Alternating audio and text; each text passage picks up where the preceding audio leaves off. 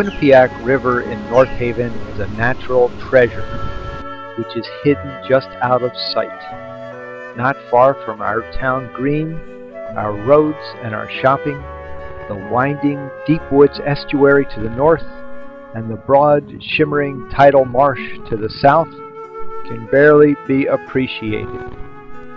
The North Haven Trail Association came together in 2007 with initial plans to develop the trail to the north near Valley Service Road. Now an opportunity has opened up with the assistance of First Selectman Michael Freda and we are focusing on the southern segment. Here is a Google Earth view of Long Island Sound, New Haven Harbor, and the area of the Quinnipiac River Trail we hope to develop first. The river was called Quinnipiac by Native Americans and means long water land. It was famous among its settlers starting in 1614 for oysters and fish. Then came the pollution of the Industrial Revolution, and now the river is being reborn. Fish, eagles, and ospreys live here again. Now, suppose there was a trail, first in dirt, then in pavement, where all could come, where you could be alone with nature, with your friends, walking, jogging, cycling, skateboarding or rollerblading, picnicking, fishing, or launching a canoe or kayak. Think what a linear trail linked to our neighboring trails in Wallingford, Meriden, and Hamden could be like.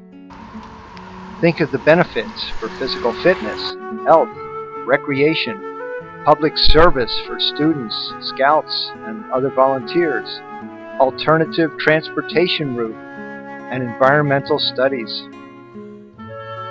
A gorgeous trail with multiple entry points, parking, and handicap access.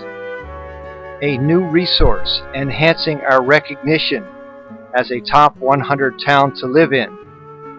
Something all our state and U.S. congressional representatives would be proud to support and help fund.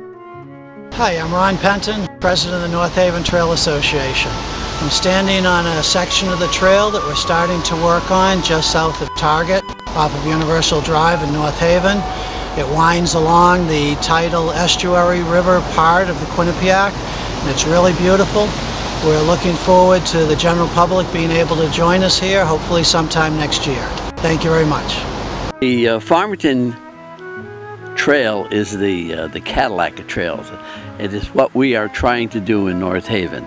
It brings people of all ages together. It's very typical to see joggers, walkers, um, young and the old take advantage of these. It's just a wonderful opportunity to bring people together, get them out and enjoy the environment. And uh, just looking at the river really makes it, it really just gives you spiritually, just helps you, just kicks things up a notch. So there are many opportunities along the trail leave the trail and go into the community. So the businesses benefit.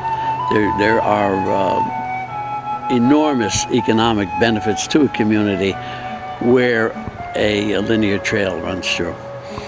Hi, I'm Dr. Don Rockland. A study recently reported at the American Heart Association shows that access to a recreational trail helps to fight obesity and leads to optimum cardiovascular health. Come join us and make this trail a reality. See our website at www.northaventrails.org or join us on the third Tuesday of each month at the North Haven Town Rec Center on Linsley Street at 7 p.m.